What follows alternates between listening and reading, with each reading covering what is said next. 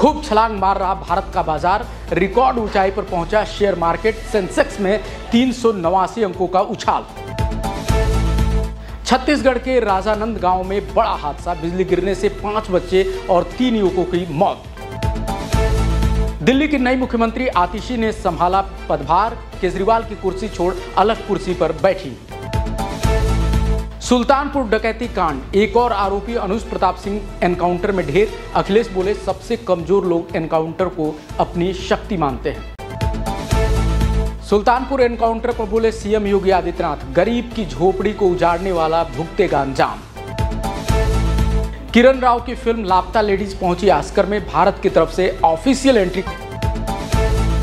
Punjab cabinet में फेरबदल से पहले सीएम भगवंत मान ने अपने ओएसडी को हटाया। सियासी सरगर्मी हुई तेज। कांग्रेस हमेशा दलितों का अपमान करती है, चाहे अशोक तंवर हो या बहन शैलजा गृहमंत्री अमित शाह का बड़ा आरोप। यूपी के कौशाम्बी कलेक्ट्रेट की बड़ी कार्रवाई, वक्फ बोर्ड की छानबे बीघा ज़मीन जब्त की गई। यूपी के बांदा में ट्रक ने बाइक सवार चार मजदूरों को रौदा, तीन की मौत, एक घायल। इस बुलेटिन में फ़िलहाल इतना ही। देश दुनिया की बाकी खबरों के लिए देखते रहिए लाइव यूपी न्यूज़ ट्वेंटी नमस्कार।